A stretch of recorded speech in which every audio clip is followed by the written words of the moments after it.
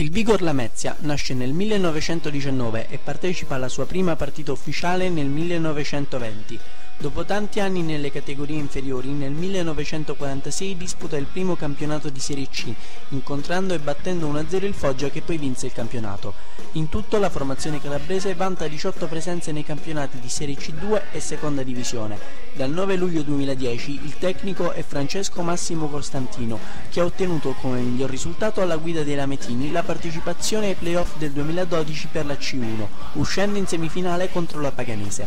L'anno scorso il Lamezia ha lottato per non retrocedere fino all'ultima giornata e ha chiuso la stagione con un dato particolare, miglior difesa del campionato con soli 24 gol subiti, ma anche peggior attacco con sole 26 reti segnate. Nelle prime due giornate i biancoverdi sono andati come un treno, trovando due vittorie, prima a Sorrento per 3-2 e poi contro il Chieti per 1-0.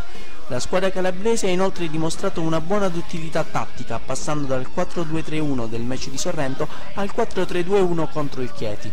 Capitan Mangiapane, che si appresta a timbrare la 153esima presenza con il Lamezia, è il giocatore di maggiore esperienza della formazione e può essere molto pericoloso con i suoi calci di punizione.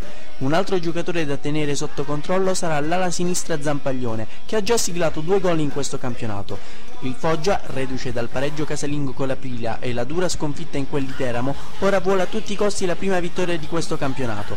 Riuscirà ad avere il giusto approccio e a ottenere finalmente i tre punti?